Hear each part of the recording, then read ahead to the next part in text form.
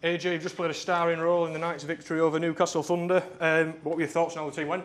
Um, yeah, really great. I think we've been working a lot in training and uh, building up to some some stuff that really came together today, and, and, and it showed how we've been training and preparing and, and you know looking at our weak points and, and just improving really.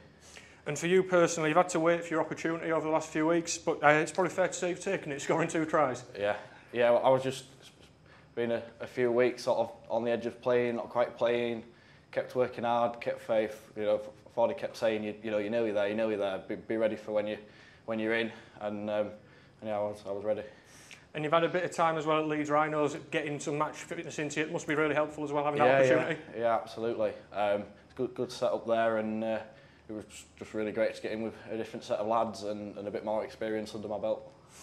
And uh, playing in a team like that in that atmosphere, because the atmosphere was buzzing throughout the game, it must be great for, for you as a player. Yeah, it's, especially when you're on the sideline with all the fans chanting next to you. It's just just electric. You know, it's, it's lifting and uh, just gives gives you that, that energy that you think you don't have. And a word on Will Jubb. He's made his 100th Knights' appearance today. As a young player, having a role model like him to come through and learn from must be pretty good. Jubby's awesome. He, he's always got time for the youngsters and, you know, be, Jubby, will you do some dummy half passes because I'm a bit rubbish at them and, and yeah, he'd be like, yeah, of course, and, and give you tips and always positive, awesome.